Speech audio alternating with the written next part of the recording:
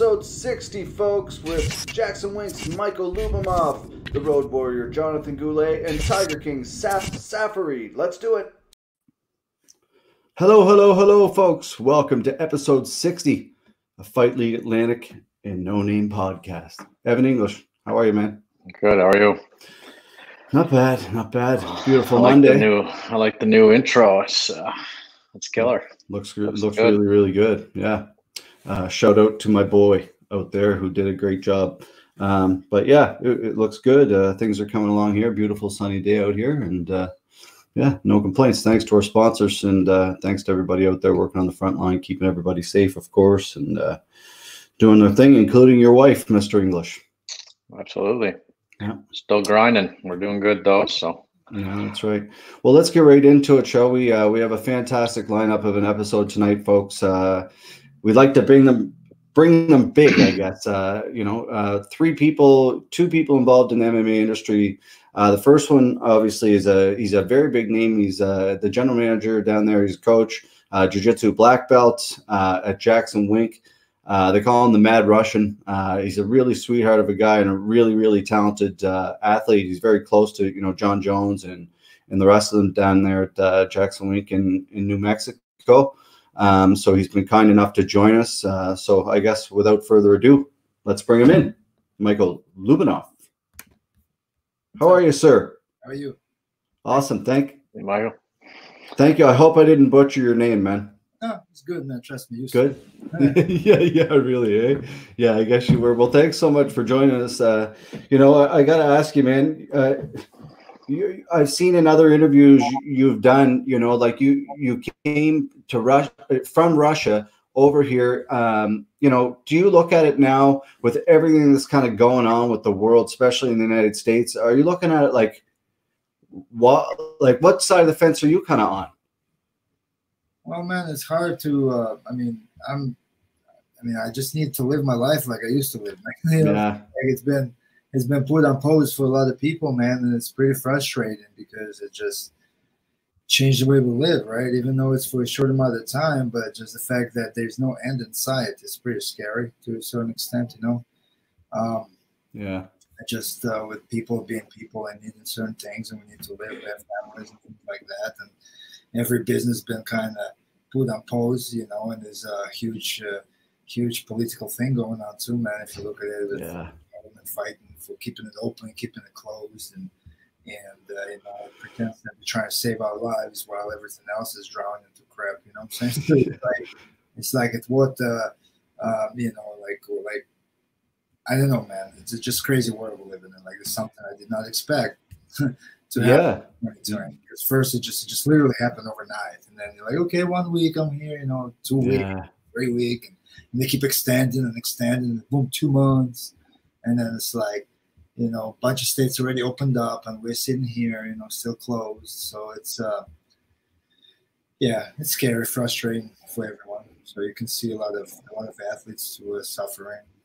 Yeah. Well, well, that's it. You know, you're, you know, you deal with both sides of it. I guess you have some amateur athletes who, who are there, do class and stuff, but you know, a ton, a ton of pro fighters who depend on this living, man. Like, you know, it's and you yourself, you're the manager of this facility, right? Like, so anybody who's not aware, uh, Michael Lyubimov down from uh, Jackson Winkle, John down in uh, New Mexico. So yeah, just kind of, I guess. I don't know, fuck, how, how anyone's going to come out of this, to be honest, man. This is like the building where, where we have uh, over 30,000 square feet for training facility, man. We Yeah. house about 50, 60 people here, man. This place is huge. Yeah. And so, and uh, it's like the type of gym, like it's like the place that never sleeps. You know, there's always people training and always people arrive and moving in. There. It's an international camp, so it's and it's just everything just like boom, stopped. Like, Yeah. Just you know, I opened this facility with Coach Wink like five years ago. You know, and it's like it's it's it's been crazy, man. We've been on a huge rise, you know, and just for, for everything to stop like this is So do you have um, any part of the gym open currently, or is it uh, totally shut down, or is there? No well, people are still living here because we also have uh, Dr. Bo Hightower. hmm our famous doctor that uh, he's an essential business apparently, you know, and they seen he's still seeing people. So Yeah. plus whatever fighters live here, they're still living. You know, people are training on their own, you know, but we don't we don't have any official classes, obviously, so no one new is arriving, right? So the travel has been stopped and uh, inquiries. I get I get tons of inquiries. People like, when are you going to be open? Yeah, I bet. Do this, and I'm like, ask the government, man. You know, Yeah. It's like yeah. it's a but apparently we're supposed to be open June first. So yeah, Nice. so we're hoping hoping and then at certain like at a smaller capacity at least, maybe the same like twenty five percent. And um Yeah, I, I know there's some gyms opening up here in BC. There's also another one in, in New Brunswick. I heard tonight is opening up and following the right protocols. They're doing the right things, I guess that they're that they're supposed to. But it's you know like six feet apart with a grappling dummy and masks on, and like it's fucking crazy, man. To me, like yeah, like the- the old this one works too. Put the put the hand over the mask too. You know. I said I said uh, that I, I- I guess somebody wrote uh, to me like I guess take take take uh, take leg locks away. You know, there's your twenty five percent. We can deal with that, but yeah. otherwise, like give us suits or something, man. Like, like it's like Yeah. you know, but I don't know. I got I got to ask you. You got a kid down there who who came up for an event we did uh, probably in 2017. Andrew Tennyson. Oh, yeah.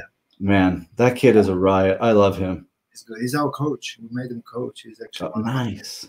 He runs some uh, um, uh, basic classes for like amateur fighters, like get them more like into jiu-jitsu and stuff. You know, like Andrew, man, he's supposed to be in UFC, man. Like he, uh, Yeah, the only loss he has uh, against that Corey Sandhagen or whatever, the one that's Mm-hmm. supposed to be fighting. Uh, um, I forgot what they just scheduled them, and they killed uh, who is he fighting? Uh, Cody Cody Garbrandt? No. some of his big name, you know. Since Yeah. But that's the only Andrew's loss, and he went into decision with that guy, and that guy is like the top guy in UFC now. So like Mhm. At that level, you know. So just, but he wants to fight in Japan for some reason, so he's just kind of like holding off on UFC yet. But Mm, he wanted to, he really could be there. I know that. Sure. interesting. Interesting. Well, what got you into martial arts? Like, what what was your kind of foray? Like, a lot of I kind of know the story a little bit. Obviously, hockey was kind of something for you, and then and then you transitioned into martial arts. Yeah, I mean, I've always been a fan of the sport, obviously, you know, and I always kind of, it's kind of funny for me because it just happened like a dream come true, you know, Mm-hmm. be uh, the right place at the right time. Yeah.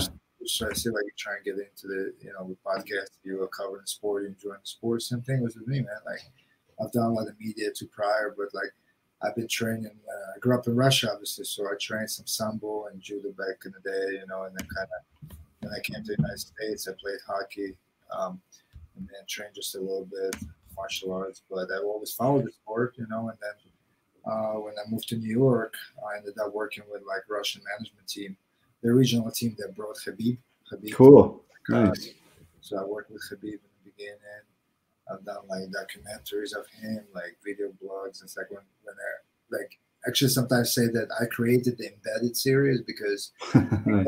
back then they allowed cameras backstage, but no one really was filming anything, so it was like whatever. But uh, with the rise of Khabib and everything, you know, whereas the management team again? like a lot of requests to see how it happens backstage and stuff.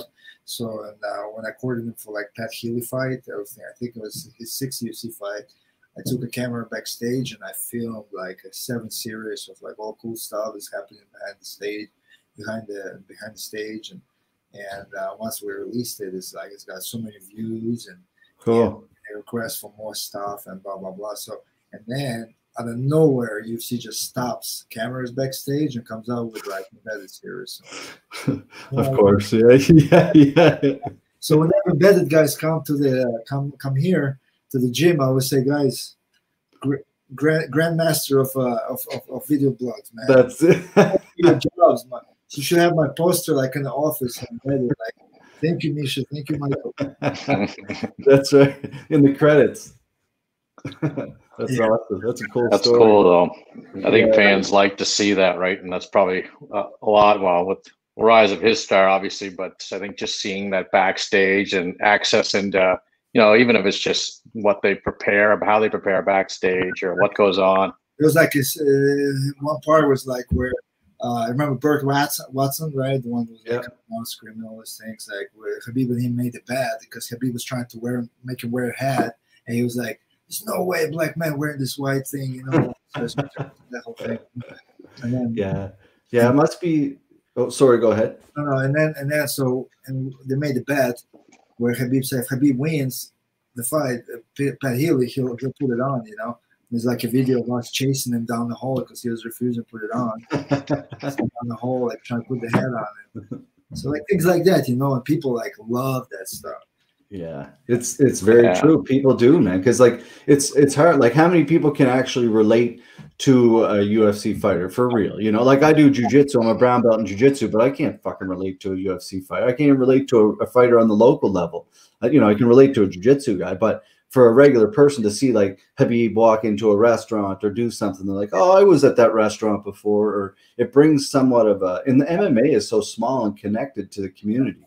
And what's cool about it too, like when you have like when you're walking down the street or you're like in the hotel, all the fans like jumping on Khabib, like can't get signatures. You know? Like when they're cutting weight, when Khabib is like drained and literally dead. Yeah. You know, we're trying to put him in the sauna and stuff. Like back then, no one saw saw that before. You know, Yeah. oh, I was like, it, it became so popular, and then like this video blog started coming out nonstop. So I'm kind of proud of it that we kind of started that whole thing because Khabib was like the biggest, biggest name, right? The coming out of Mhm. Russia at that point, you know, like boom one fight, two fight, three, boom five, six, six fights. You know, so he kept winning, winning, winning. So hmm like popularity was coming up. So it kind of happened all at the right time. And obviously, as you as I was talking about it, I was traveling a lot with the management team. You know what I'm saying? So and I traveled to many different camps. So that's one of the camps I came with one of the record fighters at the time was Adlan Amagov, Rustam Khabilov. You know the names, right? Mhm. Russian guys, you know. And then and then I'll help them get ready for fights and translate, help do certain things. Did a lot of media with them. And then I just once again and the other gym they used to be on the other side of town. That's when they where they blew up, like Rashad Evans, Joseph Pierre, John blew up there, all they want, you know. But because of the popularity of that gym and of Greg Jackson's name, Coach Wink's name, Yeah. fighters from all over the seas would try and get here, you know. But they had a hard time finding places to stay, The uh, dorm. dorms and stuff like that, you know. So that's when they're like, okay, well, I think we're outgrowing this place, you know, we're very popular, so um, let's let's big, build a bigger facility, and that's how um, the coach Wink needed a new general manager at the time, and uh, I had a lot of experience in, in business, and I ran like uh, car dealerships and uh, uh, centers, and I trained with all the guys, and I was in big into grappling and sambo and all that stuff. So kind of everything fell into place, you know? Yeah. and here I am, you know, five years later, we're in a lockdown. yeah, yeah. But a cool story nonetheless, though. Like you say, a dream job, but it, it just goes to show perseverance, eh? Like you just, Your dreams, man. I, you know, like I knew, like if, if I was younger, I would compete, obviously, but because of the way it happened, I came to America. I was by myself at 15 years of age. Like I had no guidance. I was like lost. You know, I went to school. as well, up New York, so it's like I have no guidance. I had no like someone to put me on the right track. You know, no family, whatever.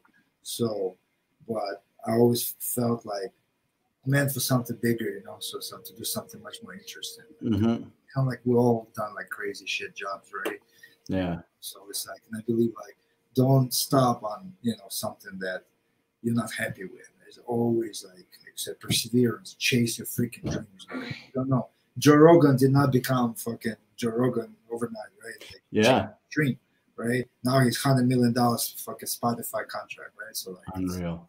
who it's surreal, right? Like I chased my dream. I wanted to be in the business. I found myself in the business, and I keep saying like any one of you or anyone, if you're really into it, look how many jobs UFC created for people. Like started from Ariel Helwani, man. He was just like a regular dork, like freaking, you know what I'm saying? Just Yeah, in the sport, covering from day one, and now he's on ESPN. Like, like with the rise of the sport, a lot of people got a lot of opportunities, and that's why you know we should be grateful for this sport and for treat fighters in a way. You know what I'm saying not like a bunch of freaking idiots sitting online talking shit. Fuck yeah, yeah. I couldn't uh, like. oh, I, that's such a bullshit like whole thing. Different podcast altogether on how much these guys and girls get paid. It, it, you know, I'm a promoter here. We own a little local promotion here in, in Nova Scotia, Canada, and you know, it's it's a different ball game altogether. But man, it's these people are putting, you know, you know the game, right? Like you're there, you're on the front lines of this whole thing, right? It's It's like and all the amount of hate fighters get for no reasons, like especially with social media, it's like it's good and it's bad, you know. So it's like kind of it's a necessary evil. Like you need it because if it wasn't for that, no one knew about you, you know. but then you have to use it wisely, you know, to a certain extent. Uh, yeah, it, To have a purpose, a good purpose, you know. yeah, it's it's weird. More people don't have managers like like people to run their social media, like like you, what like to run their social media for them. Some do, some don't, but it just just you know, some people, like I said, for some people, it's whatever whatever social media gives them. Some people Yeah, it to use it in their own way, per se. Like let's say Colby Covington, right? Or like some guys that like to yeah, that particular way, like to talk shit. you know, it just makes you money. Kind of understand it, you know. And then I don't know. It's a deep subject, right? I mean, we can yeah. deep into it, but I'm just saying, like, like words, hateful words, they hurt, right? So, to us and stuff. so Yeah, to me, like it's crossing the line. Uh, that's not the way I kind. I, I like I like the respect the martial artist kind of way, you know. But me too. Everybody, think it's part of the. It is part of the game, but uh, I mean, go to the extreme, like you know, too far where they you know bring topics into it that don't need to be brought into it, but uh, you know, or, or certain words or whatever. But yeah, It's a very Yeah. subject. Very it is. Uh, yeah, it is. You you still following mm, absolutely. Um, eh, not too certain. No, not really. No. Yeah, like my favorite fighters, I kind of like stopped. Not fighters, hockey players, kind of. Like, I was a big fan of Detroit Red Wings when they had the whole lineup. Like the first lineup was all the Russians, like you know, Fedorov. yeah, Fedorov. Yeah, I think that's when they won. Like when they had that accident. You remember when they won? Like Yeah. They were in a limo and they got into that bad accident, and Constantine became paralyzed. Remember? That's right. Yeah, That's what. That's like the golden era for me was like when I watched them. Like, they were a definitely dominant team at that point too. Like that kind of flew because what happened to me when I came to New York, I played well, that first year I lived in Wisconsin, and I played a year over there. And, and I so all my gear that I had when I came to New York, uh, somebody stole it, and I was at the Skyway. So that was the end of my uh, hockey career. so welcome to New York, you know. Yeah. yeah. what, really. brought, what brought you to New York originally when you came from uh, Russia? Well, it's like just you know, I had some family members there, and I couldn't stay in Wisconsin anymore. So I know I knew opportunity, more opportunities were in New York, obviously, but it's like, yeah, I've been on my own pretty much for a long time over there too. So it's kind of like just just New York, yeah, because it's like everyone goes to New York, right? Yeah, it's a Yeah. beautiful place. Russian community, at the, you know. Um, yeah, so it's either East Coast, West Coast. You got to be kind of in a big city, you know, to get some bigger opportunities. But not that I got any, actually. Look, I got my uh, biggest opportunity actually in Albuquerque, New Mexico. No, no, out of all. Yeah, you just never know where those opportunities will come from. I keep chasing them. you know. Some people are okay, like staying in one spot, but I traveled all my life from one spot to another. Been all over Europe, you know, traveled different places and around the world. So I was in the Navy here, actually. Um, Oh, really? yeah, Thank you for your service, sir. Yes. Yeah, so I did that here. You know, just always follow the sport. So the sport, the sport of MMA and grappling, jiu-jitsu. Um, who do you train under? What's uh, what's your lineage? So we're it's it's an interesting thing. We're under, I guess you. So my coach, I guess he would be under a guy named uh, Peter Martell, who's under Renzo. Renzo. Okay. So yeah, I guess Renzo. my my blue belt on the Renzo Gracie system. Yeah. Nice. Yeah. 'Cause I traveled a lot, so all my belts are from like different systems. But my black belt, black belt I got here was in New Mexico from uh, Gracie Barra. Nice. We have four huge schools here, and uh, uh, Roberto Alencar, uh, Tusa, his nickname Tusa. He is Jon Jones's coach, and like we cross train. It's like our extended family. You know, we train exclusively on the Gracie Barra, so a lot of their high level coaches, grapplers, they are our coaches as well. Nice. So like the high level coaches there, they teach Jon Jones how to hold, Michelle Waters, you know, so like they do a lot of that. And I actually was fortunate enough to get my black belt from uh, Carlos Gracie Jr. The son, I was, I always like to me, it's a, that was like probably the surrealist moment ever. Because I always thought I'm going to get it. I, knew I was going to get a black belt because I'm about the sport, you know. Like you were, in right? Like you're going for it, right? So Yeah. all the way around. and uh, usually it's like you get it from a black belt, your coach, right? Whatever, you know, it could be big name, smaller name, whatever. But I got it.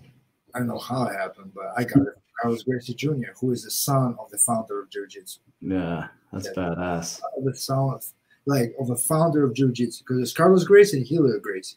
They yeah. brought to America, right? They found the sport. And his son, the owner of Gracie Barra, Thousand Schools, the owner of IBJJF, he presented me with a black belt. Wow. Wow. So I was standing there like shaking, man. Like, where was that at? You know, it was, uh, it was in San Diego. They do like every two years, do like summits. Mm-hmm. A summit where like all the top guys, like thousands of people, fly in into one big, um, big area. They do like a huge conference. You know, oh, nice. Uh, uh, no social distancing, obviously. yeah, yeah. You look at you know what's now. I don't know. I know how we're going to like get back to normal, but either way.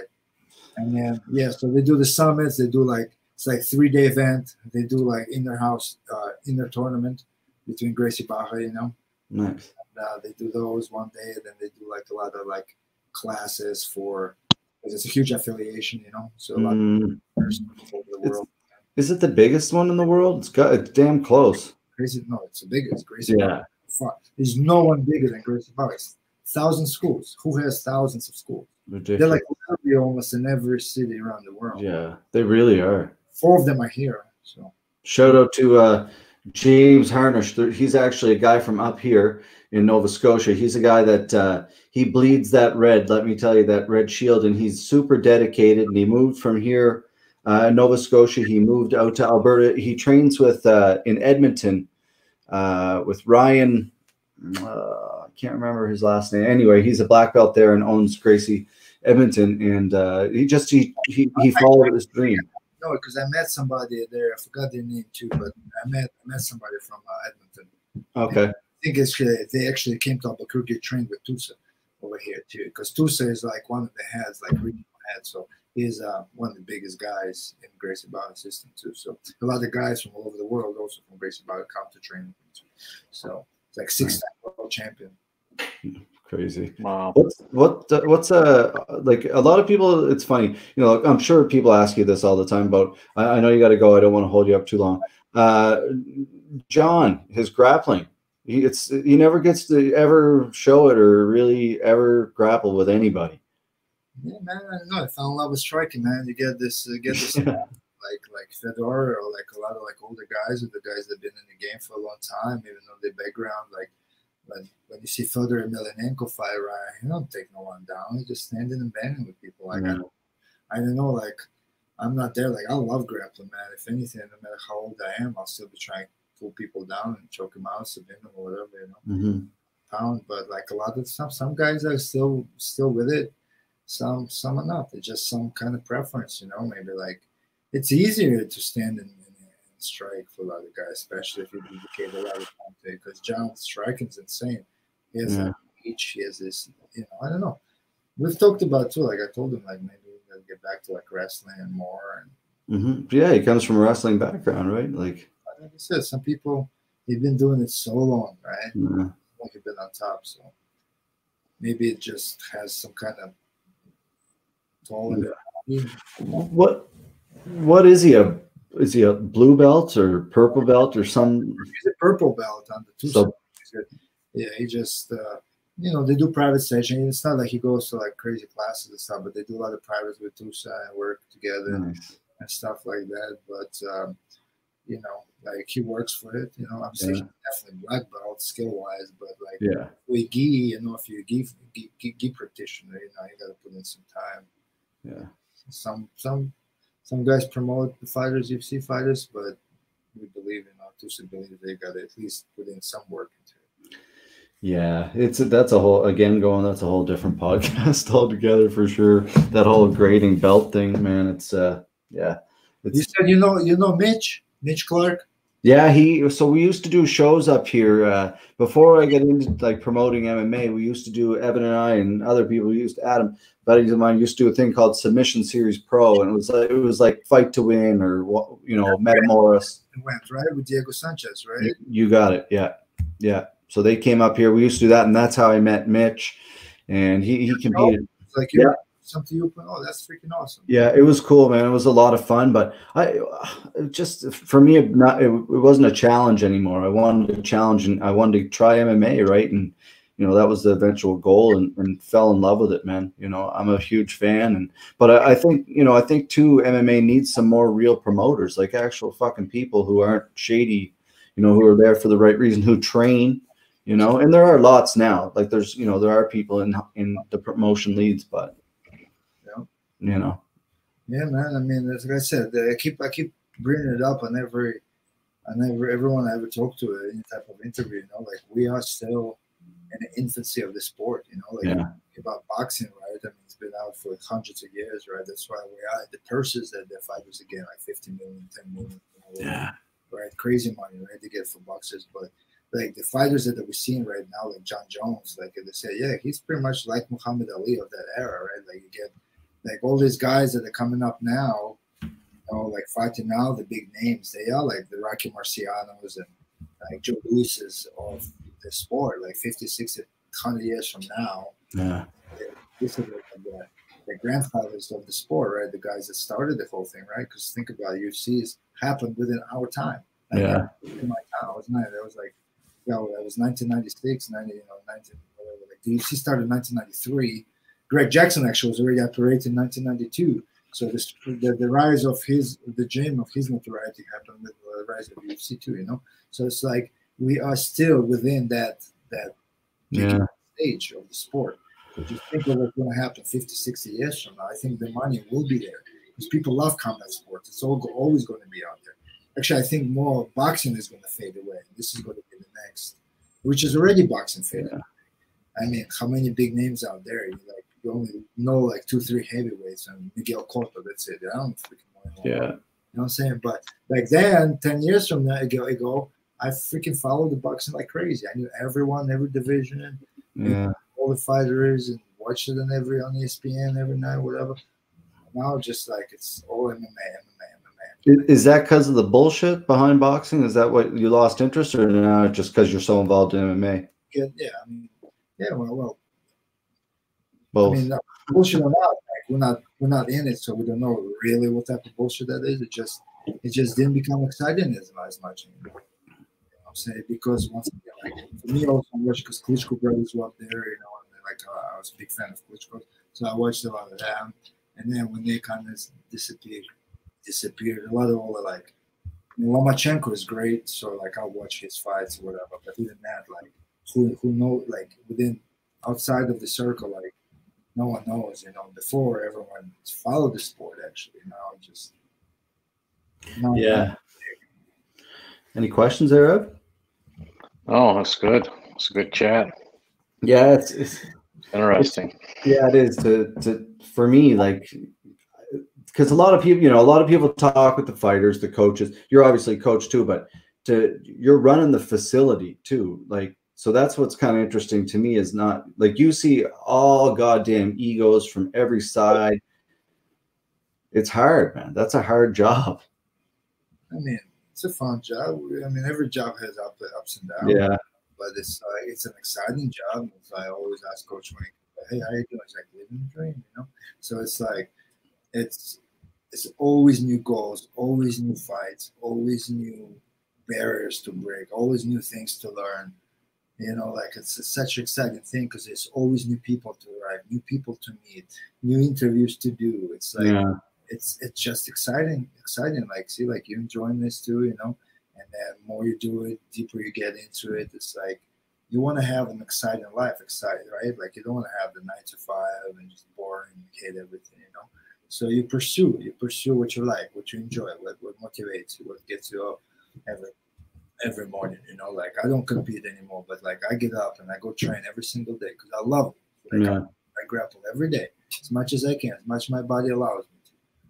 So, and then when I don't have it, I feel sad. I feel depressed. I feel crazy. You know, like it's something. Yeah. It's, our, it's our air. So, and then being part of it is just, it just, it's just, it's amazing. You know, egos or not, yeah, there's a lot of, you know, because any type of type, it's a violent sport, right? yeah, that's yeah.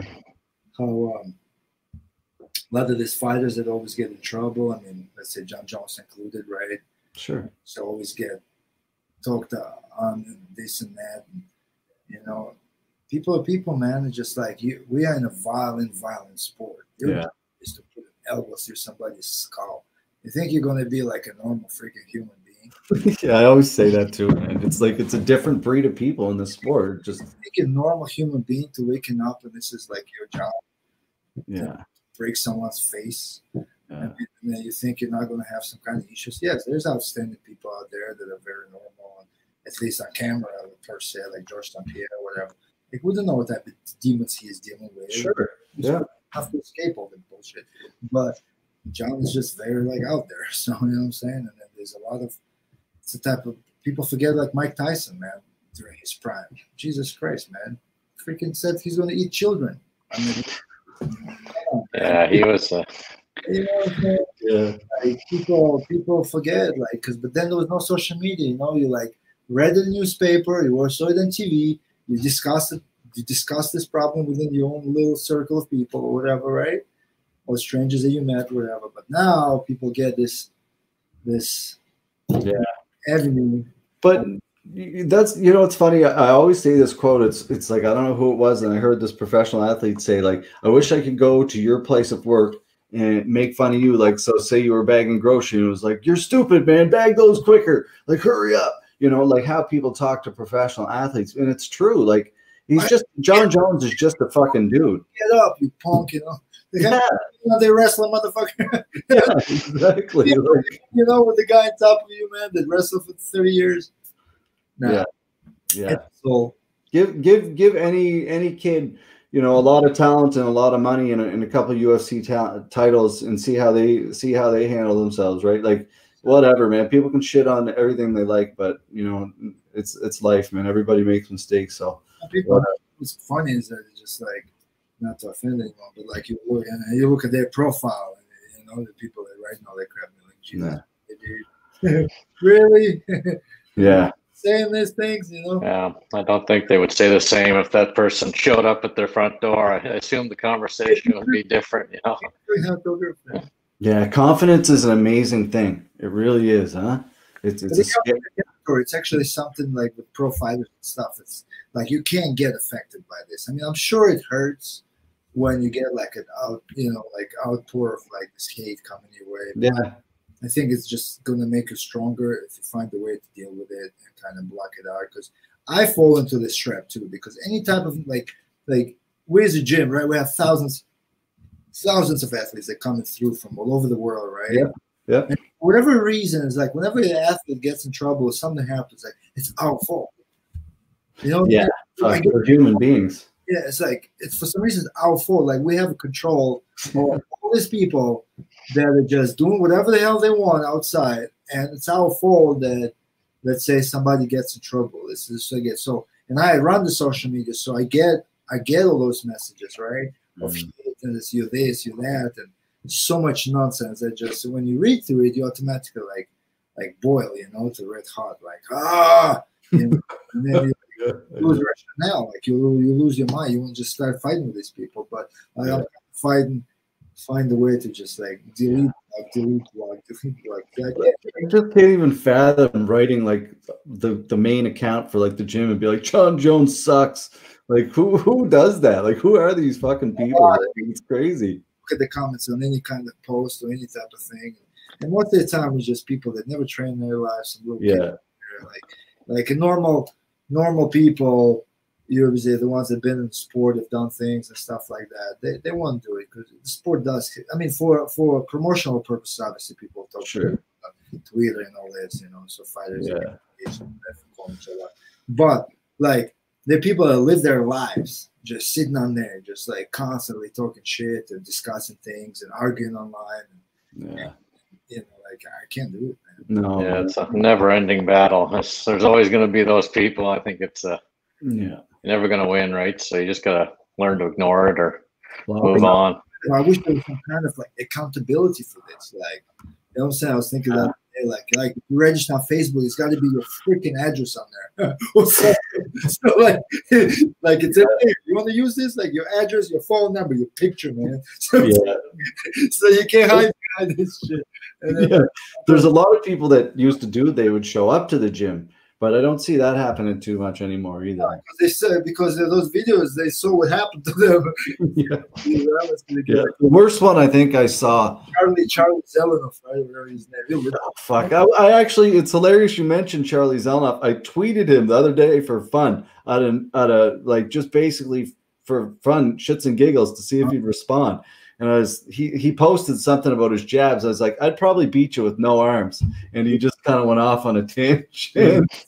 he loved it, man. They're looking, man, like you give them a little bit of ammunition, and I noticed like whenever you get like all these messages and stuff, and one second, one, if you respond even for a second, boom, it, it opens up this kind of worm that is just going to jump on it. You know, it's like Yeah. UFC posted, UFC yesterday posted, so who's the GOAT, you know, after the whole McGregor thing. I don't know if you saw that that um, UFC belt. Oh yes, yes. No, and, I, and then and I, wrote from the gym.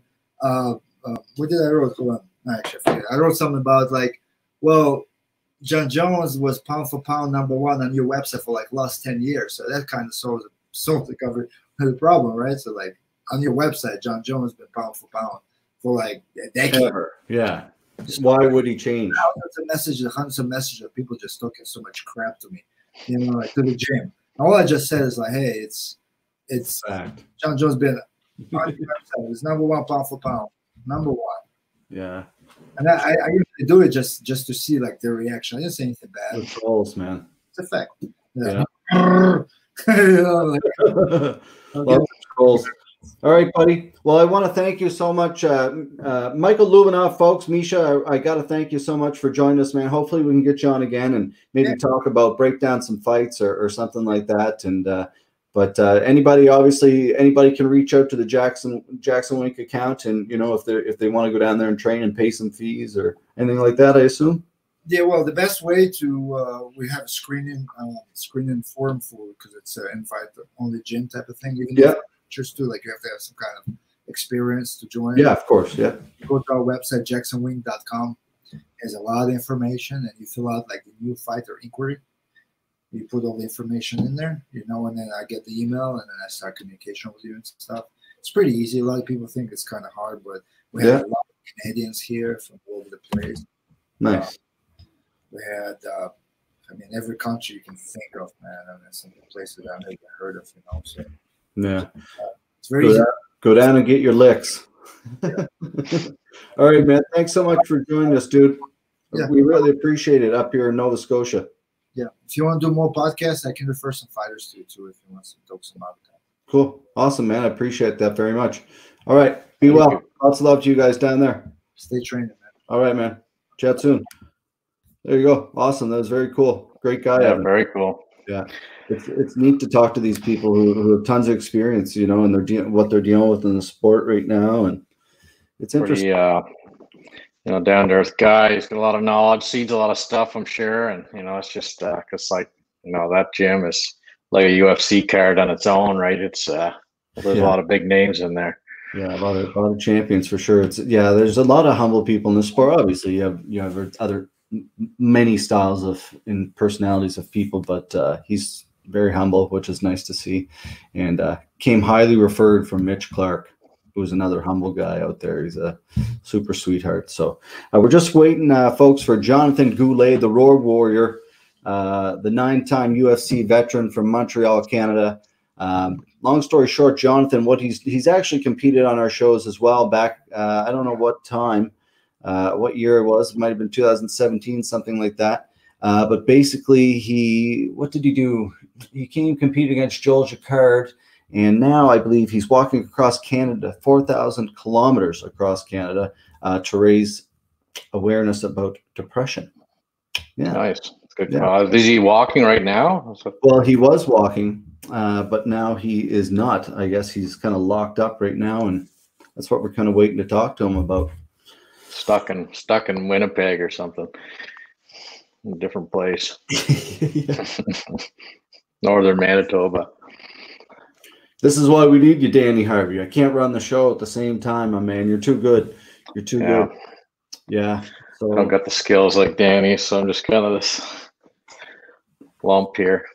Yeah, I'm just jealous here watching, looking over here at Chelsea. She's relaxing on the couch and quite jealous here, folks. Quite jealous. Anyway, I don't know if Jonathan Goulet is going to make it on here or not, folks. Dun, dun, dun.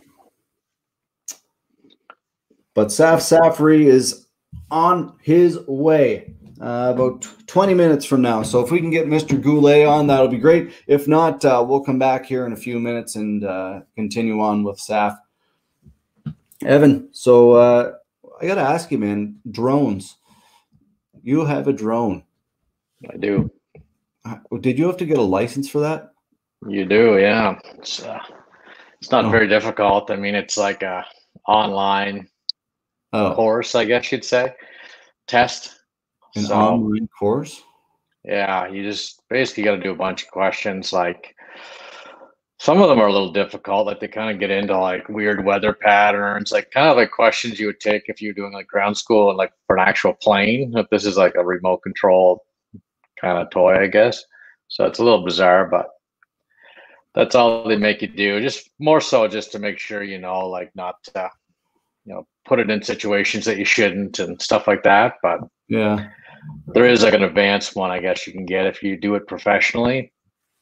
Then you uh, need to do like an actual flight test and stuff. And yeah, that's scary. Uh, like if you're doing like professionally, to like I mean, like I guess if you're like recording video professionally and stuff like that, oh, right? Or there's the Road Warrior. Sorry to cut you off. I love your your. All right. We'll, we'll, get into that drone here in a bit. Uh, the Road Warrior, Jonathan Goulet. How are you, my man? I'm good, and you? Awesome. Thank you for joining us. Good to see you again. I'm so sorry. I think I'm I'm late a bit. No, you're great. You're handsome. Okay, you're looking good. How you, how's things? Things are good, really good. I was working on my website, and uh, you know it's uh, you know we are all uh, inside, stuck inside. So uh, I was looking at the university classes. Maybe you know I will start something. So you know I I, I need to uh, to uh, keep my mind uh, you know uh, busy. Yeah, yeah, that it's it's for anybody who's just joining us. This is Jonathan Goulet, uh, a UFC veteran, uh, martial artist, lifelong martial artist. Uh, can can we call you a mental health advocate now? Uh, you know, uh, yeah, for, yeah, yeah. I, I think so. I think what you're doing is quite admirable. You know, for I suffer from mental health issues myself a little bit with PTSD and stuff, and and I think it's super important. You know, four thousand kilometers you're walking across the country and obviously it got derailed for what, what we're dealing with right now. You're going to start it again, or? Oh, of course, of course. I just can't wait to be able to walk again. I just, uh, you know, my uh, my uh, first uh, 200 kilometers were they, they were like uh, uh, I would say training. I, you know, I knew how I was able to um, to walk. Of course, I knew what I was able to do with my uh, my uh, my stuff for camping and walking, yeah. but it was hard, and uh, I've learned a lot. So so when I will uh, do it again, I will be able to uh, to uh, to walk longer, and uh, it will be more efficient. Nice. How, ma- how many kilometers did you get in uh, before you had to stop? Uh, 200. 200 total? 200 okay because uh, you know it's I was uh, I started uh, in Montreal and uh, I, have been walking and sleeping outside. Uh, it was winter. Uh, I started on um, February 29 and and it was cold. It was cold, but I was I was I was well equipped and I was having you know at, at the beginning I was having a, a sled with about hundred uh, of stuff inside. But uh, you know, I you know I just um, cleared uh, something. I mean, I mean. Uh, I had some things that you know I didn't need, but I was uh, kind of attached to it. Mm. So, so me, that was kind of a, a goal to deliver a message of uh, being able to get rid of of negative things, and uh, j- because those negative things uh, might um, might not help me to move forward So so uh, so that's what I did, and then uh, just before I stopped my, uh, you know, I had um, uh, a backpack, and it was around sixty pounds uh, on, on it. Uh, that was seventy pounds. Yeah. So so I had to adjust myself all the time, and that was uh, that was fun. Probably uh, felt like about 200 Oh, yeah, pounds yeah, after but- about and- and- 50 kilometers or so. so yeah, I lost I lost uh, a few pounds of, and uh, you know I, I didn't answer your questions. I started in Montreal, then I had to stop in Sherbrooke. Sherbrooke. Okay, uh, Quebec. yeah. That's a long way though to walk. yeah. Yeah, but you know uh, compared to what I wanted to do, it was, uh, you know, I, right now I will be in Halifax. If I, I you know, if the COVID nineteen wasn't there, I will be in Halifax And we could be training. because the bear. Huh? We could be training. Oh, uh, you know, or, or yes, yes, well, yes, of course. Training is so important for our mental health. It's uh, it's that's what I love about jiu-jitsu. Yeah, have you been training a lot before this happened? I know, like when you came out and competed for us, I, I don't know what year that was, Jonathan, like 2018 maybe or something. You were just really kind of getting back into jujitsu. Uh, have you been Yeah. training a lot? Yes, so, um, I, I, um, I I've been uh, uh, competing. Nice. I, I mean, uh, I pro uh, myself and to Firas Zahabi that I, I wouldn't compete again until you say yes. So, and for me that was good because uh, you know uh, the last uh, that was yeah that was the last fight I did, and uh, I kind of hurt myself and uh, and more my my ego, but but uh, you know it's uh, you know I'm I'm getting older. I'm not old at all, but I need to work like it was, and and you know I can't afford to not be able to work. So so if I have uh, uh, fingers uh, all broken, you know, I, I I did a lot in the competitions. So that's enough for me, and uh, but I, I did train a lot uh, and more teach. Yeah, yeah, you certainly did uh, train and fight a lot. It's hard on the body. Yes, yes, it's hard.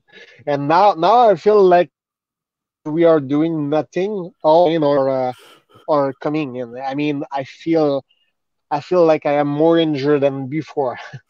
so I need to train. Yeah, yeah. Uh, uh, my body is soft. It's soft always, but now it's really soft. Yeah. Where? Where? where mine, mine to try to talk a lot. What? what? Is the beers?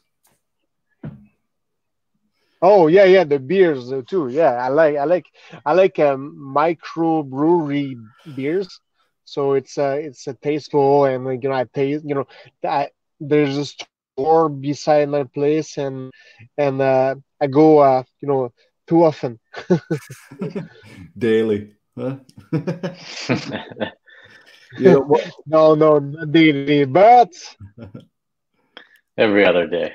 yeah, yeah. One one thing that I love about you, man, you know, out of all the years I've been promoting events, uh, you're probably one of the easiest athletes to deal with, uh, and like most like genuine, just easiest people to deal with too. Is is that something that has always been a focus on your your career, like to just kind of, you know, just be nice, you know, and be kind. Uh, when I was in the UFC, I was more like a diva. But uh, I, I mean, I was uh, it was harder to uh, to deal with me. I mean, I was fine with people, Yeah. but uh, business wise, it was harder. Um, but uh, yeah, it's kind of you know maybe it's uh, it happened more after my career when I I, uh, I touched the bottom. Before I was a star, then I became in my head uh, nothing. So so so uh, it uh, because I, I became I, I- I touched the bottom. Uh, uh, maybe I became a normal human and uh, uh, you know a, a kind human. I mean, everybody des- deserves until they don't. So that's Yeah. how I Yeah, we're having some uh, some internet issues there, folks. Sorry about that. For anyone who's just joining us again, this is Jonathan Goulet, uh, UFC veteran and mental health advocate. Um, where where did the idea, Evan? Do you have any questions or, or no? You're good. I'll keep firing. I'm I'm good. I'll uh, I'll pipe in. I I look at I look at you like the whole uh, the whole experience of like four thousand kilometers. Like that's does that compare in any way to a UFC fight?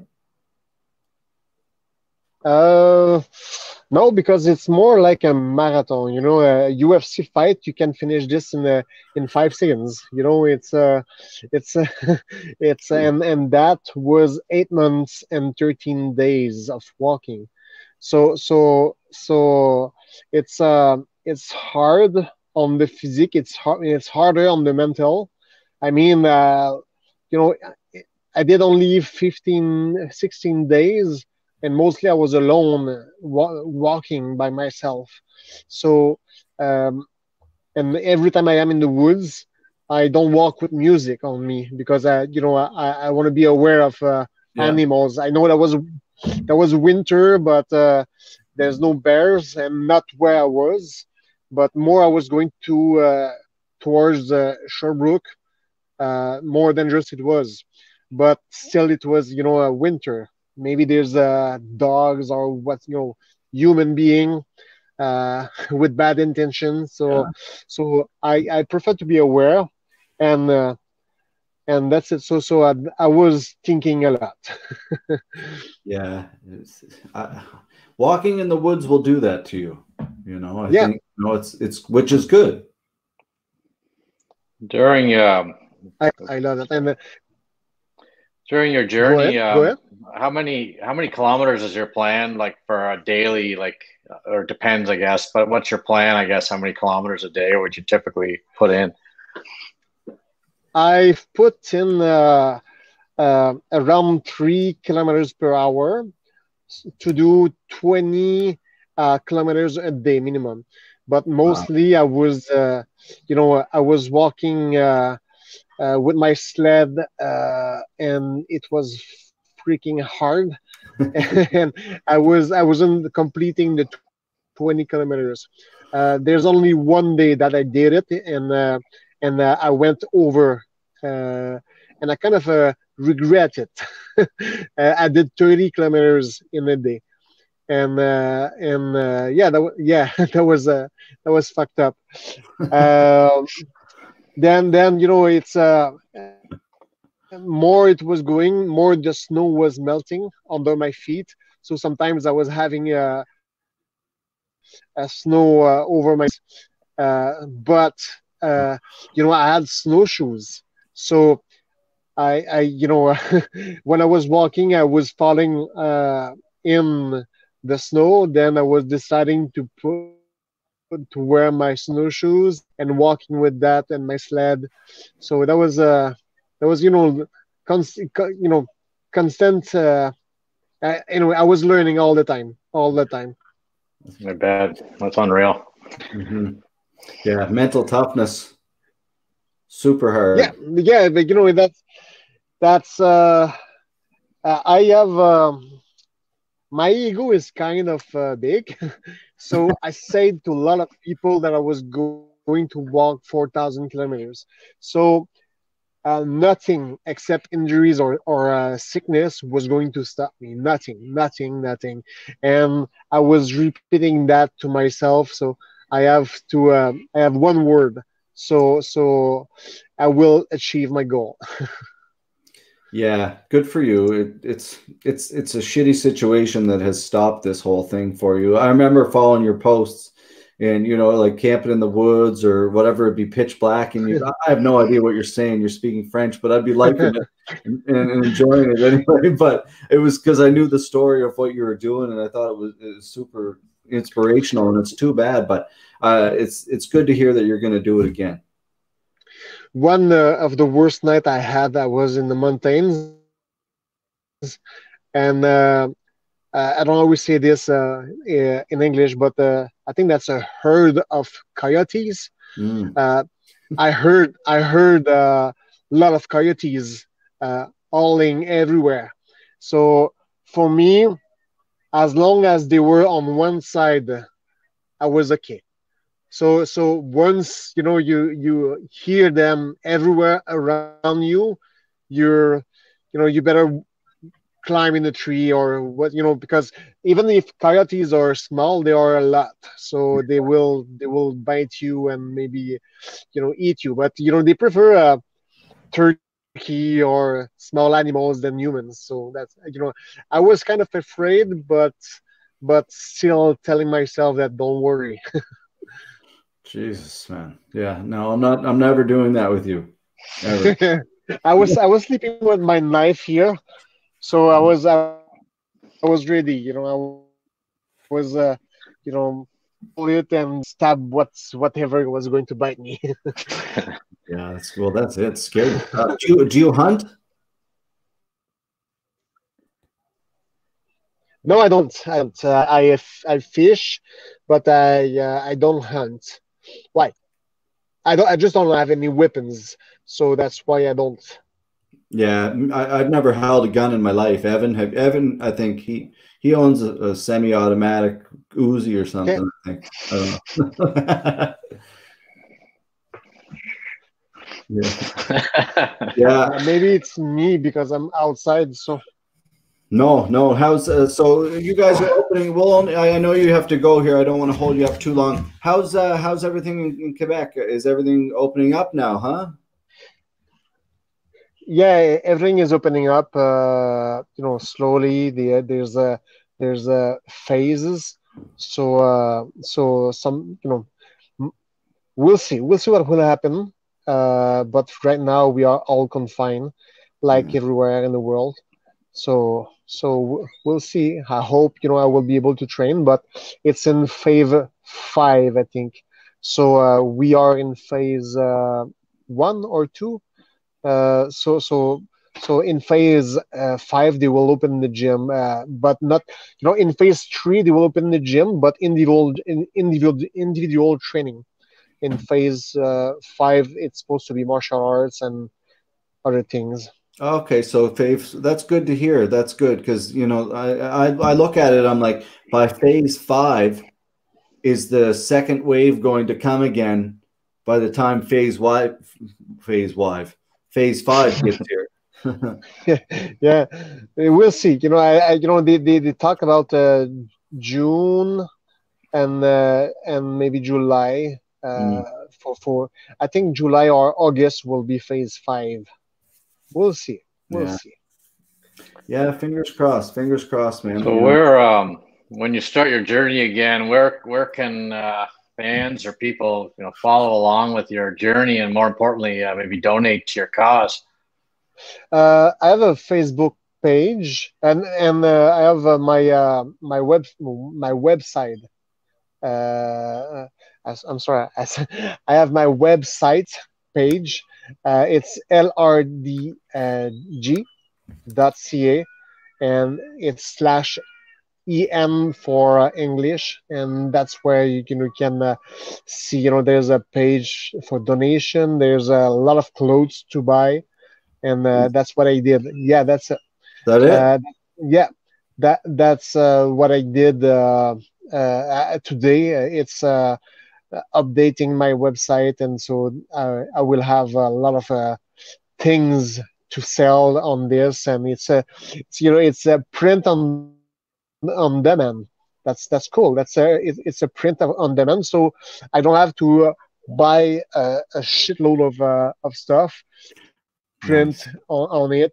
So so I will I, I won't spend that much money on on uh, what I, I will have. So there's so many things I can wait. Yeah. Yeah, good question, Evan. Very good question. Well, you know, one thing I, I wanted to ask you right before, you know, Road Warrior did that did that come from the wrestlers? Because that just did you are you watching? no, no, I didn't. I, I, never had the the Yeah, the spikes, spikes, he or maybe the Road Warrior, like uh, you know, with uh, Mel Gibson was uh, what movie it was? It was uh, Mad Max. Uh, Oh, there's so many things. Yeah. Uh, but the Road Warrior was because uh, you know I was uh, traveling here and there to to fight, uh, and sometimes you know I I, uh, I even paid my uh, flight tickets to go fight without being paid or whatsoever.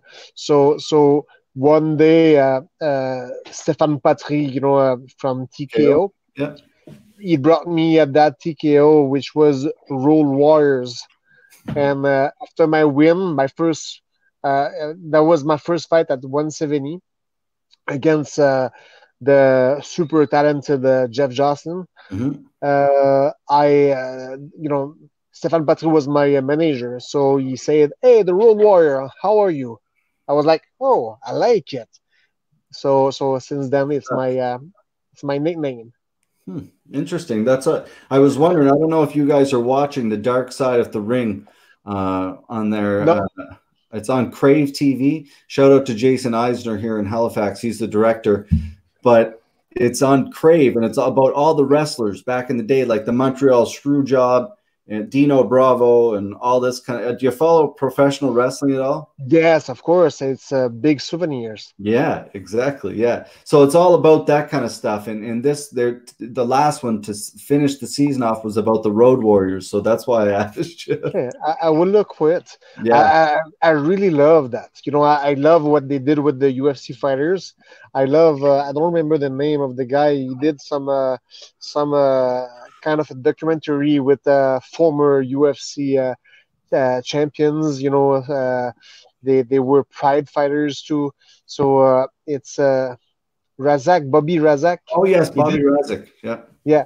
he did some some some some good things and i love to watch this what what they became what where are the fighters sometimes it's it's sad but other times it's uh it's uh, it's fun it's fun you know Yeah, it is. It it shows that you guys are people. You know what I mean? Yeah. It's like at the end of the day, you're you're like you're just people, man. Like it's in all walks of life. There's everybody with different talents, and it's cool to to see. I, I I'm almost more fascinated. I don't know about you, Evan, but I'm almost more fascinated with the the psychology of the like uh, you know talent wise. You're an athlete. I get that, but the Yeah. psychology behind it, the ups and downs behind the scenes, that to me is so fascinating.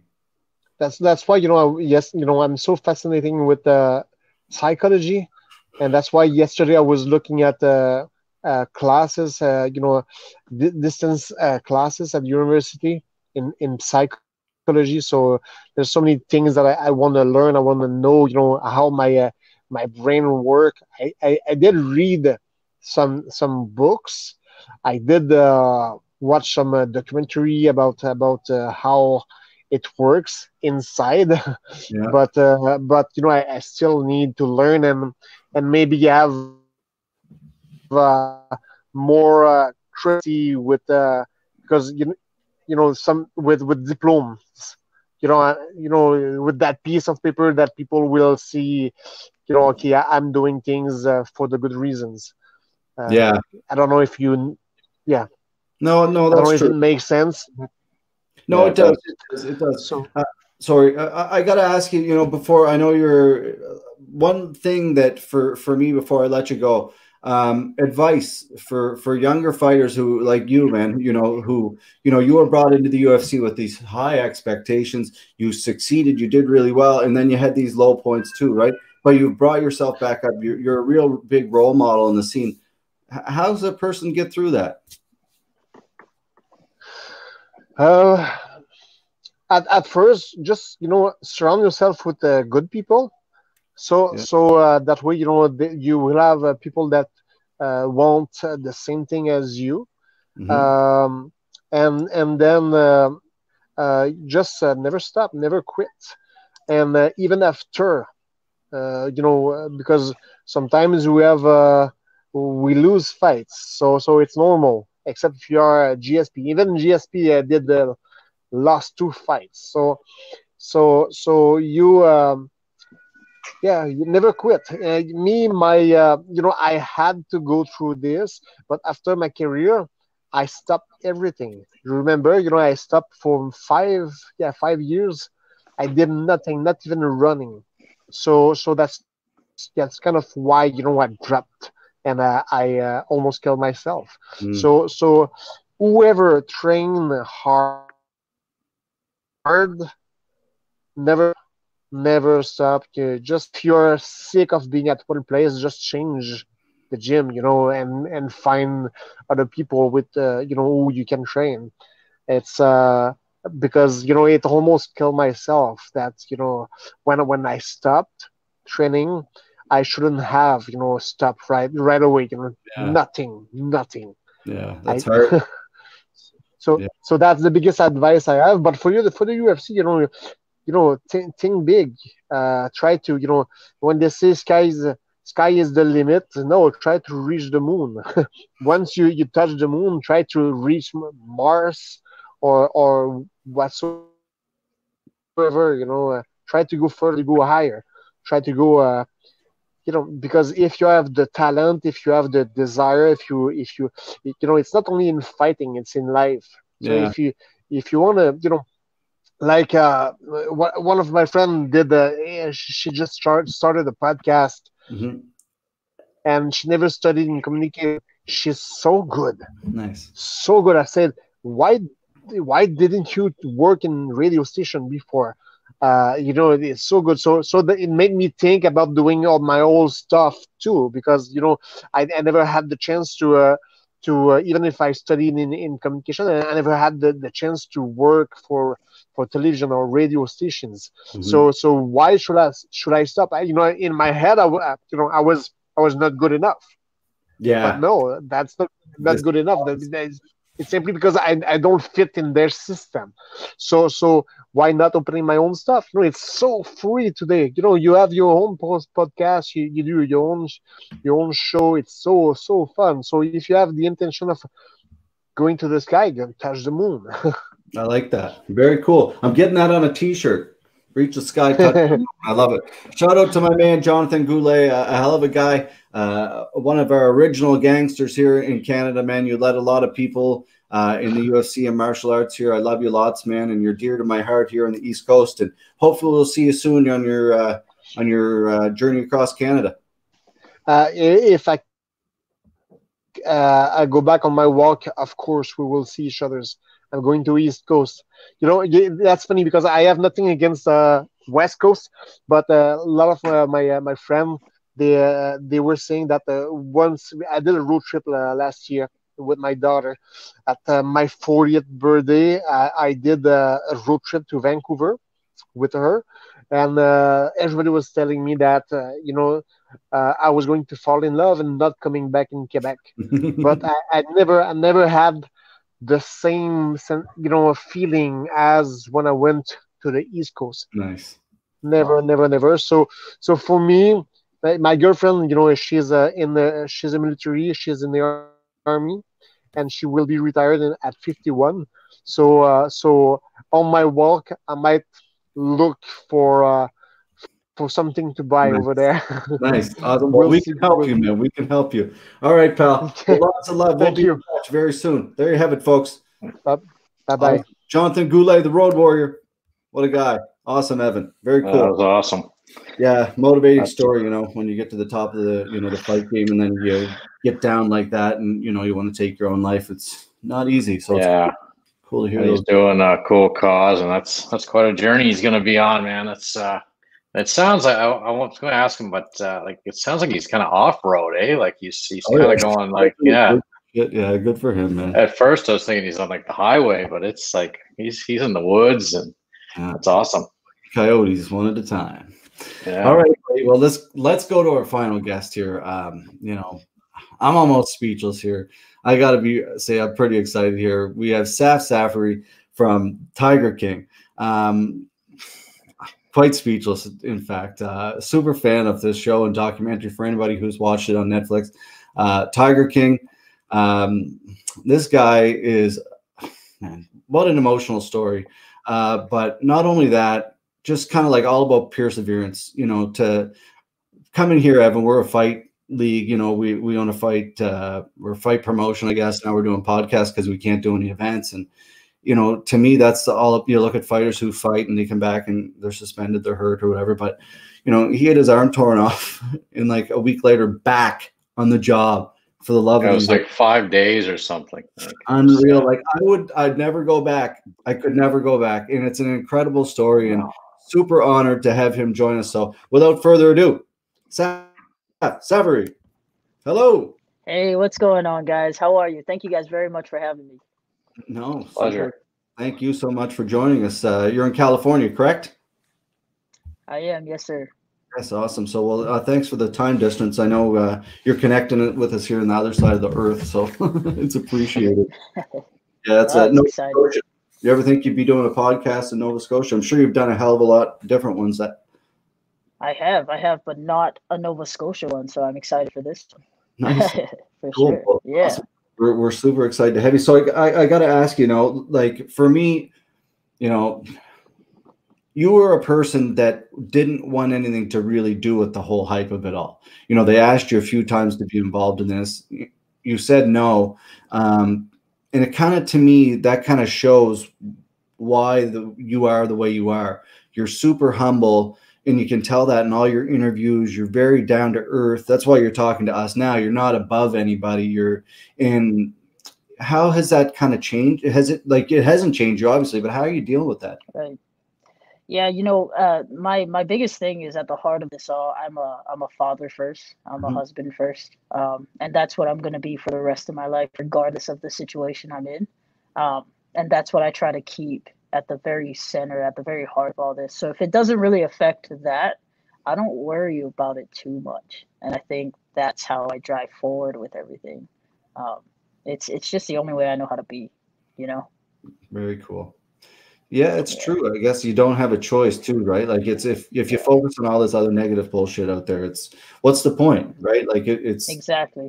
like you know Yeah, yeah. You know, everyone's always going to have an opinion, and um, I know more than anyone else that no one person is going to agree with every single thing another person has to say or feel. You know, um, and that's. I mean, I don't worry about that type of stuff. If I can't change it personally, then it just has to go to the back burner. You know, you have a you have, that's, that's it. you have a name for the back burner or Back burner. that's, that's just it. Yeah. yeah yeah it hard just has to wait back then. I mean, it either it either burns up or you know it it could be something awesome. I never know. I just know that what I have to focus on is what's always at the forefront of my day, of, of every second of my day, and I just live my life moment to moment, day by day. You know, just that way. three I kids love being happy, man. Three kids, yes Yeah. sir. keeps you busy Keep you busy, yeah. I would say. that's it's a whole different level of busy you know? And um and especially now that i am being able to see the intricacies the in and outs of being home with them all the time because i never was. I was always working. Um and now i i kind of appreciate it more. Just that just the the knowing the amount of responsibility that goes into it is incredible. So yeah. yeah. It'd be, that's Absolutely. be a, a huge difference for you too i guess now that you, Oh, you you know like there's a lot of changes in your life i guess and that would be the biggest one really everything else in the background. Definitely. Definitely and you know I, i'm sure there's a lot of other people around the world going through the same thing but for me personally it was a first-hand look like like a reality check you know this is what you do everything you do for anyway. So if you're not enjoying these moments then what are you doing? You know so yeah that was definitely a an experience for me right off the bat throughout the covid situation here in america or here in california at least Mhm. so Wow. Yeah, it's it. I, I'm I'm quite shocked, and I guess that that right there, how you answered that question again goes back to the whole uh, the scenario in the actual documentary with the the accident with your arm, um, how you handled it.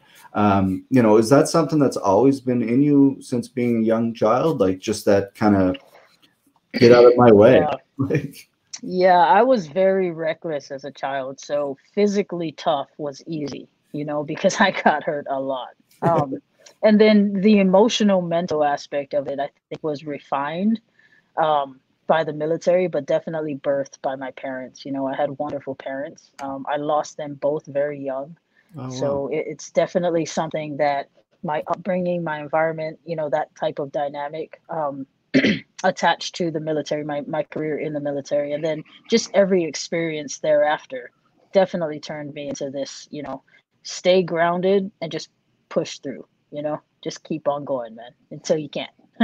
so, yeah. Yeah. It's, it's, by the way, thank you for your service. Um, obviously, Memorial down in the United States today. I appreciate that. Yes. Yeah, it is Memorial Day. Yeah. Yeah, it is. It's awesome. Yeah, yeah it's, it's uh, you're just tough, I guess, plain and simple. You know, like it's people right. are built like that. You know, like I'm not built like that, and you know, it's some people. Like I, I said it earlier today to my girlfriend. Like if I had been through that, like it, this would be a long, long thing. Not just for me physically, but mentally. It's it's so incredible and inspiring. That's for me. That's why I wanted to talk to you. Not you know, there's lots of other bullshit and that you've done all these interviews talked about the same thing. You know, but to me, it's so inspiring how you've handled it and came out and and just you're just you right? That's a yeah. Wonderful- no, I appreciate that. I really do. I don't think that um, you know. Obviously, it wasn't about me, but I don't think the process of of directly after this incident happened was highlighted enough, and and yeah. not a lot of people you know ask those questions. Um, but I did struggle, you know. I mean, for at least a year after this incident, everything was new you know mm-hmm. things that i used to do two-handed and not even consciously know that it's a two-handed job i'm starting to learn how to do it with one hand now or i have to or else yeah. i just can't do it yeah and i refused you know i refused to not be able to do something so it was a it was a long drawn out struggle but i i just kept pushing every day you know and that was my mentality behind of it you're not going to live a life where you have to sit there and say i can't do something if you have the ability to do it you know, and it was even harder for me because I knew I could do it at, at some point in my life. Yeah. Up until that point, I was able to do all these things, and I just refused to live not being able to do it. So I just kept pushing. Yeah, it's a good way to be. Yeah, but I could see that it's a, it's a huge change, right? It's uh, when you're oh, used oh, yeah. to it for X amount of years, and then all of a sudden, you know, oh, you have to adapt and, and you know start yeah. relearning right. some things as well, right? So it's uh, yeah be, uh, you know you tough. have to revert revert back to like childlike states you know because as a as an adult yeah. you're pretty set in your ways you know you you think you know how to do everything the best way that it can yeah. be done at that point. And i i did that as well. And then you have to revert back to no you can't do it like that anymore. This is the only way to do it. So let's learn it this way. Yeah. and that was difficult for me. You know i think any any adult especially an adult that's been through enough children and marriage and life they're like no man why should i relearn things? I mastered it you know? So yeah, yeah it was tough. It was tough but yeah it, yeah that would be so tough. And not only that it happened in 2013 am i correct? Yes. so then all of this can you know like comes back seven years later everything that you've already been through right? So now it brings up yes. those emotions too again right? So oh, good for you. Like absolutely. i've seen you doing all these interviews and you handle yourself like an absolute boss so good for you. It's awesome. I appreciate that. Yeah, it's I really appreciate cool. that. Like i said you know at the end of the day i'm just you know a, a second before it aired on netflix i was just your neighbor you know yeah. i was just some guy you saw at the grocery store and I'm still that person, mm-hmm. you know. So I, I think it's important to remain true to yourself, regardless of what's happening in, in life. You know, life changes all the time, man. So yeah. Yeah, embrace it. For sure. I think from sure. like, you know, the show itself and like anything you've read and you know, there's different obviously different opinions and, and different comments and stuff like that. But I think everything that I've read um, has always kind of held you as kind of the one that was there for all the right reasons, right? Mm. Like you were, you could tell through that show, and maybe they didn't show everything or or burst it as, right. as most you would have liked it to be, but uh, everyone, you know, kind of said you're you're a, true animal lover or there for the right reasons, or maybe some opinions went other ways on, on other individuals, right. which we don't have to go to, but I think that uh, says a lot about yourself um, and you know, was there something in the show though that you know maybe maybe they didn't explain fully uh, from your point of view anyway, or maybe didn't you wish they would have kind of you know went into it a little deeper? Oh yeah, definitely just the uh, the amount of care it took. Genuine one-on-one interactive care it took to tend to these animals. Because that at the end of the day is exactly what this industry is about. Yeah. you know it's it's what we're as a human race doing for these animals. That's what it's about you know? Um and and it just it's a little sad that a, a documentary about one of the largest you know handlers of these big exotic cats one of the main you know names in this industry had almost 2% maybe 2% of animal care within that docu-series. And Wow. everything else was about and i understand they had one driven point but it's just it to me it was disappointing i'll be honest you know? Um, but again that's not the story they wanted to tell.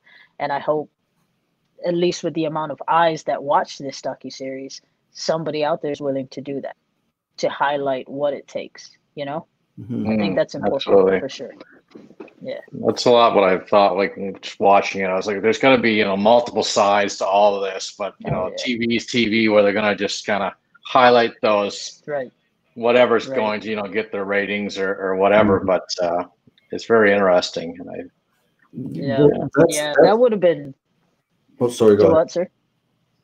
No, I was just gonna say that would have been, you know, awesome if they had just highlighted a little bit of animal care because it was what I did, you know. But again, it wasn't about me. It was about Joe, the industry, and the and the journey, you know, to Mhm. how he went from this to that. Um, but man, it would have been a beautiful thing. I think people would have enjoyed it because what we did on that park, regardless of the opinions that people have, um, the animal interactions that we had on that park is definitely one in a million. You won't find that anywhere else. And it's because of the way we interacted with our animals, you know? So it's an easier story to tell if there's visual to go with it. Yeah. so yeah. True. Did, I know you're busy at home, three kids, and uh, but are you still involved in in uh, you know anything to do with animals or, or you know whether it's big or small or Right. Well, I mean, in the smallest sense, I, on a personal level, I visit I visit my friends who are here nearby, um, so that I can continue to have those animal interactions, and that's just on a personal level. Um, and on a greater, grander scale, but still on a personal level, my next plan is to actually see these animals in the wild, because I'd love to get you know that other take, because you know for so long of my my life, almost 10 years, I dedicated myself to these animals in captivity, thinking that that was what was best. Um, but I can't genuinely say this is what's best if I don't know what the other side is like. Yeah. So I definitely want to see them in the wild for sure. Yeah. That would be uh, quite an experience. I mean, what you did Yeah, alone is something so. most people don't get to ever experience or never will. But I think seeing them in a wild as well would be uh, you know the flip side to that and, and just a cool overall experience. Absolutely. Gratifying. Absolutely. Yeah. it was- Absolutely. you know, again, coming here from, you know, if I'm a fight promoter and you're you're putting two people in a cage and, you know, like to me, I look at that and that's extremely terrifying. Getting in a pen with the tiger is obviously, or like, how did, obviously you don't get in, but there are places that you are quite close to these animals. Like, was there, how do you learn that skill? I mean, obviously, there are schools out there, and and let me make it perfectly clear: I didn't go to any of them. I learned everything I knew about tigers on that part, aside from Google searches, you know. but um, I do know one thing, and this is pro- probably why all the people in this industry are one type of person. Um, and it, you have to be absolutely fearless. You have to be, because even though you know the dangers, you have to understand that there is literally nothing you can do to prevent it. You can't control a tiger. It's 600 pounds, you know, and you definitely will never take its natural predatory instincts away from it. So basically, you're taking a risk every single time. And if fear is on your head, on your heart, they will sense it. So you just have to be in a presence and that's it. You know you're basically existing within their realm and you have to understand that or it's it's just not something that you can walk off the street and master you know? Mm-hmm. And i think that's why i was so intrigued by it all is because i was doing something that not just i wanted to do personally my entire life but something that not much others would even consider doing So it's it's definitely a an ego thing behind it all, you know, and I Mhm. think that's why you get the type of personalities out of it, you know. So it- what was like? I mean, I'm sure it wasn't typical of a normal job, right? But like, what was like week one when you showed up there? You're you're first starting off this job, like you know, like most jobs, you maybe get a handbook or something, but I assume that wasn't probably the case at the at the park. Uh, so, like, what was your Right, first um, week or first month like uh, on the job? My first week was just amazing to be honest with you. Um i mean if you can imagine thinking to do something your whole life and then finally having that transpire into real life i mean it was incredible you know and joe was the key to that cage you know the key to that dream. Um so it was that that was the dynamic you know is i was so thankful that i was able to do this. Nothing else mattered. Um i just kind of buried myself in it. You know, it consumed me for so Mhm. long. Um, but you know, after that week passes, you think, or you, or you would imagine that that would that feeling would go away, and it literally ten years later never did.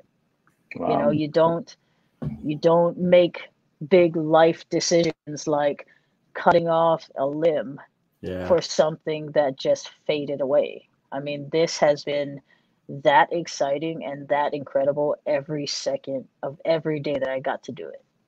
Every second. So, That's yeah. cool. How wouldn't Yeah, it be? first Like, yeah. yeah. Most people's jobs Do don't don't go that way. You know, they they kind of dread going to work. But I assume you were excited uh, for each day of work, right? Because if you had that passion Right. still fired up, then it's uh, makes work a lot easier. That's for sure. Yeah. Yeah. Oh we- yeah. It was a blessing. It was a blessing all the way around, you know, for sure. It was definitely a blessing all the way around. And uh I never I never took that for granted and I think that's why it holds so true still. You know, that's why I'm still so passionate is because I never took it for granted. Now I did get hurt because I got complacent. But Mhm. that's like a whole different thing. Yeah. You know, you do the same thing over and over and over again. You think you're untouchable. And I think that definitely played into why I got hurt. You know, I forgot that I'm working with tigers. I mean, that it's plain and simple, you know.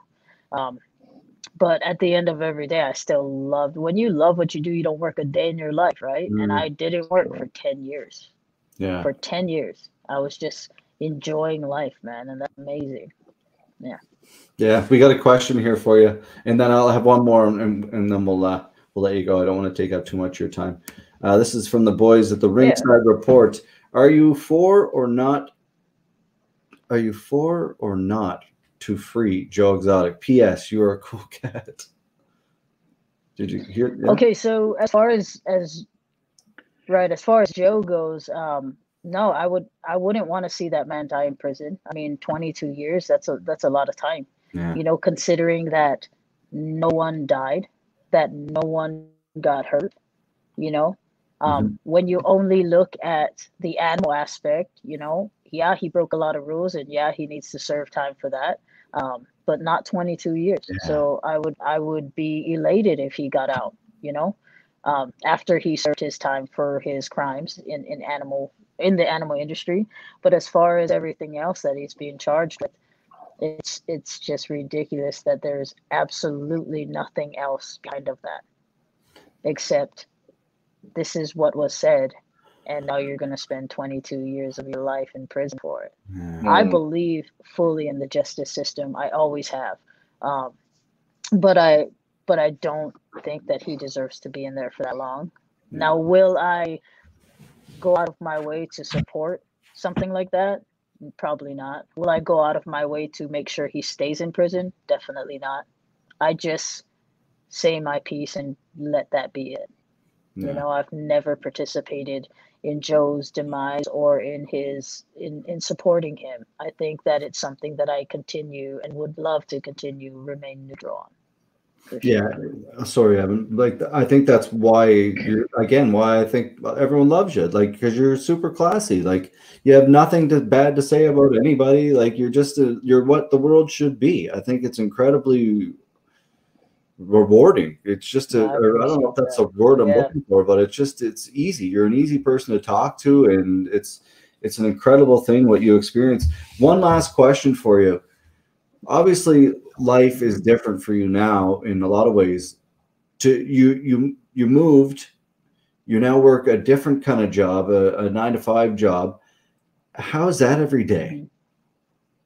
Like, yeah. Um, actually, currently I'm not because California did shut down, oh, yes. and um, I'm sure they're gonna open up again here soon. But I'm not working any other type of job. Um, so thankfully, I was financially, you know, ready for that or prepared for that. okay, okay. But you know, now obviously I have to think on a bigger scale. I can't just be like, yeah, I'm just gonna go back to a nine to five job. Yeah. I was blessed with this platform, and I definitely want to make good use of it. You Yeah. know, um, so yeah, that's I, obviously I'm moving in that direction. I just I'm not sure. There's so many options and there's so many ways, and I want to make sure I'm doing it properly and and for the right reasons. You know, so taking my time with it. Yeah, that's true. Because I'm sure you probably have people from all over the woodwork going, "Hey, like, listen, you know, come with me. I'll make a bobblehead, or I'll do this, or whatever." You know, like a hundred million different people with Right, opportunities. right. Yeah, that's interesting. Do you have a manager now, or are you looking at that? Right.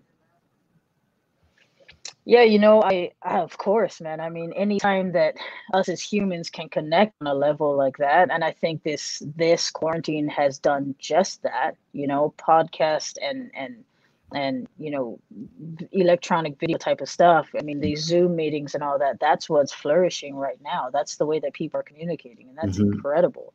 So I think if you can if you can look at the times, you know, and consider them when making your decisions, that's what I'm doing. You know, I'm considering every option, you know, um, Yes. and doing what's best for everyone involved, not just me and not just them. I think that's how everyone should kind of go into something, you know, that should be at the forefront of their mind whenever they're considering any type of relationship with anybody.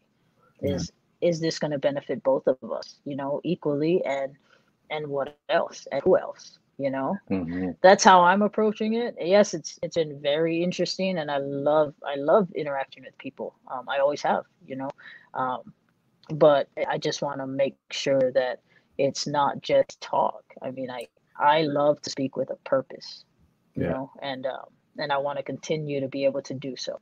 Yeah, I, I'm not just talk, not just entertainment. You know, it's so much bigger than that, and and I want to highlight that.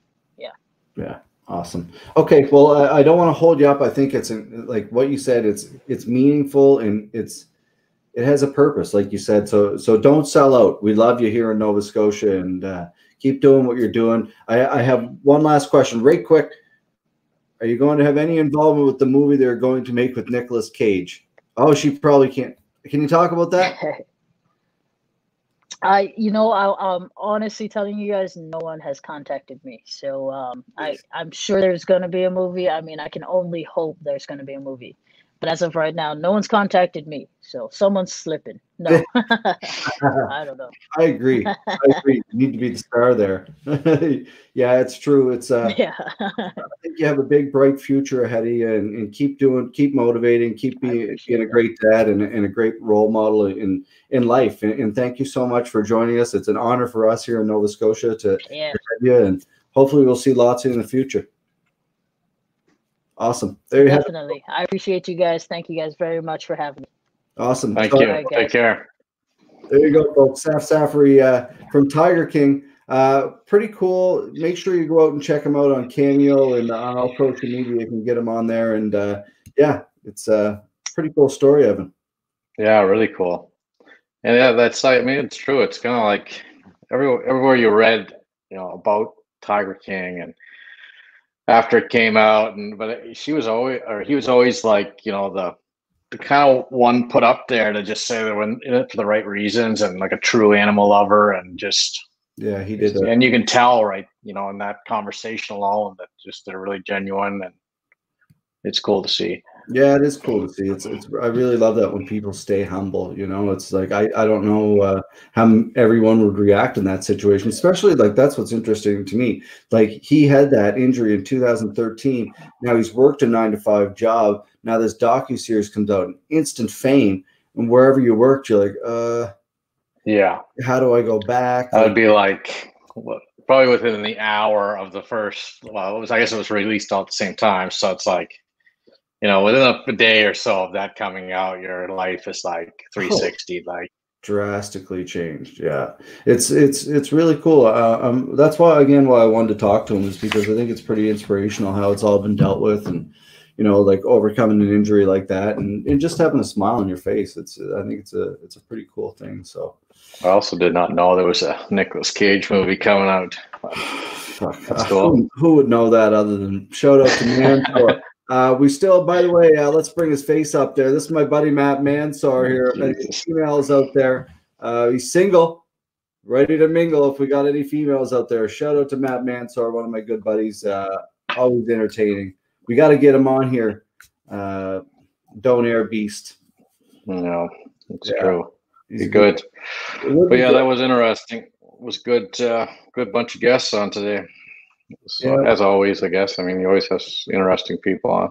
Yeah, tomorrow night, uh, another fantastic episode lined up. We have uh, Chris Kelades coming back on, uh, UFC and Bellator veteran, uh, now the M1 uh, veteran, who just was the champ there, just lost the belt, uh, dear friend of mine, and Din Thomas, a former UFC athlete, just left American Top Team down in Florida He's been on Dana White's looking for a fight, travels all over with Dana White and stuff. So those two will be on tomorrow night for the full hour and uh, chatting all kinds of fun and uh, bullshit, pretty much.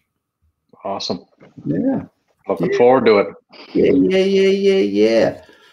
Anybody have any questions? Any final questions? I know it's super interesting right now. So interesting. I have no water left. Do you know what that means, Evan? You got no stickers left for the giveaways? No, you're, no you're out. It went too fast. We have, we do have some uh, gifts on the way here. So uh, yeah, stay tuned. Uh, we'll have some nice coupons from the Halifax uh, e-scooter. Uh, we'll also have some uh, nice pre-workout coffee from our friends at Team NVH Sport. We'll have a few other things coming as well in the mix. So yeah, Halifax e-scooters only. Do they just sell e-scooters, or do they rent them also? No, no, it's slick. You you've been to California. You saw. Yeah, is that what it's like? The Lime scooters kind of thing. Yeah, yeah. exactly. So, so, they rent them all around like uh, Halifax. Yeah, so it's an app you download on your phone, yeah. kind of thing, and then you just get the scooter, and then uh, when you're when you pay, I think it's uh, I want to say it's fifty cents for the first five minutes or something, and 30 cents a minute or so, uh, maybe i don't know not maybe not even that much 10 cents a minute i don't know. But basically you can cruise all around halifax. I don't know one thing i don't know about it is if you have to return it back at the same location because you know as in other places you can just leave it anywhere. Yeah with that though, it becomes a clusterfuck because they're all over the place. People yeah. them in their cars and shit. Big problem in California. Oh, for sure. Makes me laugh. But uh, they are like they're the coolest idea, and, and I mean, like especially in Halifax, like who wants to walk from like Water Street up to like you know Brunswick Street or something. You better have a damn good uh, horsepower to get some. Yeah, you might you get maybe somebody on there that's a little bit bigger. They might roll all the way back down the hill or something. I don't know if they have enough power to, to roll up or not. Here's your scooter back. yeah, could be uh, any good brake system, I guess, for the other other way down. It works by your foot you you like kind of step on the on the brake. It's really slick, I gotta say. And so shout out to those guys. And yeah, they're cool. It's Segway based, right? So you know, it's it's pretty pretty simple concept, but uh, very smart. So anyway, folks, that has it. That has it. Whatever. I gotta put some lip chap on here. Sponsored by Chelsea Young, sitting on the couch and laughing. Ha ha ha. Dave Simon says Samuel Adams time. Dave Simon, you know I got a bone to pick with you, Dave Simon of of uh, uh, the Ringside Report. You and I actually, he's from Montreal. This guy, Dave Simon, Evan. He, uh, mm-hmm. the Ringside Report. These guys do a great show. It's like a podcast. They do a lot of wrestling and MMA stuff. They're actually hilarious. Dave Simon and I actually had dinner one time at the Pictou Lodge, and I don't know if he remembers this or not.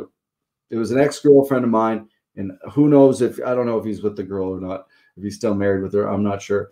Um, but yeah, long story short, um, we went to the Pictou Lodge together. It was fantastic dinner, and uh, yeah. But I don't know. Shout out uh, to Dave Simon. Does he remember that, Anthony? Let me know if he does. Uh, Anthony says, "Ha ha ha ha ha ha ha ha. So I'll take that as a yes. He remembers. Yeah, sounds like he does. That's what I take it as. Especially with the extra HA at the end there. It was plural. Plural. Yeah. All right, folks, we're talking gibberish, talking bullshit. Let's get out of here. Mom, I love you. Carol English, we love you also. Everyone at home, thanks for watching. Thanks to our sponsors. Tomorrow night we'll be back with another fantastic episode, episode 61. If you can be anything in this world, Evan English. Be kind, pal. my man. We'll see you tomorrow, folks. And once again, thank you to our sponsors. Bye.